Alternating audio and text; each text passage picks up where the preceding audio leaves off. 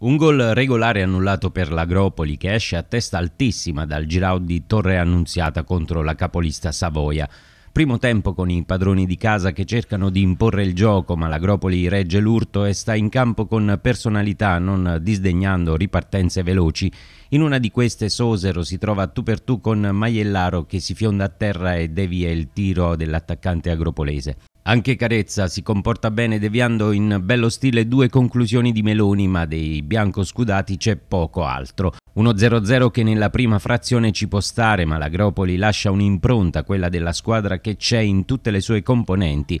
Inizia la ripresa, gli ultras del Savoia, splendidi, non smettono mai di incitare la propria squadra immaginando l'arrembaggio. Tarallo lotta su ogni palla, d'avanzo corre sull'out, sterza verso il centro, tiro a giro fulmineo e palla che sta andando nel set, ma Maiellaro ci arriva, davvero non si sa come e devia in angolo. La squadra di Pirozzi gira a meraviglia, Panini e Scognani Cognamiglio disinnescano fenomeni come Tiscione e Meloni, Giraldi e Platone giganteggiano su De Liguori e i giovani Gargiulo ed Esposito. Mister Pirozzi completa il suo piano tattico inserendo Capozzoli in luogo di Sosero, dimostrando di averla studiata eppure bene. L'Agropoli avanza il baricentro e comincia a dare continuità alla manovra d'attacco, punizione dal limite, schema perfetto dell'Agropoli che mette Guarro solo davanti al portiere. Il numero 3 ex Savoia di testa scavalca Maiellaro ma solo per un attimo perché l'estremo difensore Opolontino mette le ali. La reazione del Savoia è sterile, qualche ripartenza ma sempre su errori in disimpegno ed ancora l'Agropoli a recriminare, cross dalla fascia, Scognamiglio stacca di testa e insacca, gli spettatori in tribuna sbiancano, i giocatori esultano ma Detta di Mantova decide di farsi ricordare e annulla senza motivo adducendo un fallo in attacco inesistente al difensore agropolese.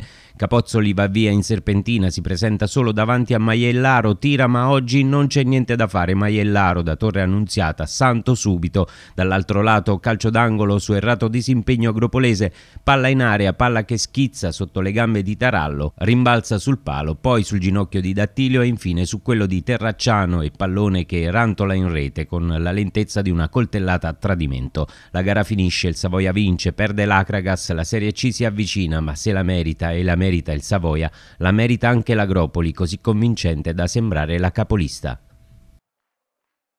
mister, una sconfitta che brucia, vista anche le occasioni che ha avuto l'Agropoli. Sì, ma credo che a prescindere dalle occasioni, eh, credo che siamo stati padroni del campo contro una squadra che, eh, voglio dire, si vede, no? è dall'inizio del campionato che davanti, in casa aveva vinto tutte facilmente le partite. Venire qua e secondo me essere padroni del campo è un motivo d'orgoglio da parte della mia squadra. Cosa vi è mancato onestamente per vincere la partita? Forse veramente solo il gol? Sì, eh, c'è anche la bravura del, di Maiellaro, secondo me, che si è superato in 3-4 occasioni. E poi c'è quel, quell'episodio, secondo me, incredibile che l'arbitro ha annullato il gol di Scognamino, che è eh, cosa secondo me assurda. Però gli episodi fanno il calcio, eh, noi ci lecchiamo le ferite e continuiamo avanti. Se una sconfitta, abbiamo detto prima che brucia, mm, c'è un, un pericolo calo psicologico nei vostri giocatori? No, assolutissimamente. Questa non è una partita dove ci faceva cambiare il verso della classifica, anche se oggi credo che ci abbiano superato 3-4 squadre. Noi siamo convinti e consapevoli che siamo una squadra fortissima vogliamo arrivare dove ci compete, lì sopra. Siamo stati il secondo, il terzo posto. Noi, ogni partita per noi è una partita fondamentale, quindi da qui alla fine credo che la squadra abbia dimostrato oggi di poter ambire a posizioni di classifica importanti. Sapevamo che la partita era difficile, affrontare l'Agropoli, una delle migliori squadre nella ripresa della seconda parte del campionato, uh, sul nostro campo giustamente siamo un poco più determinati, siamo riusciti ad andare a gol con Terracciano dopo un calcio di d'angolo di Bizzarro, quindi penso che sia una domenica splendida perché abbiamo avuto un risultato positivo da parte nostra de, dei cugini della Cavese che hanno, sono riusciti a vincere con una tripletta di De Rosa, quindi vi facciamo un augurio di un, di un grosso ritorno in campagna e vi ringraziamo di quest'altro passo falso dell'Agragas.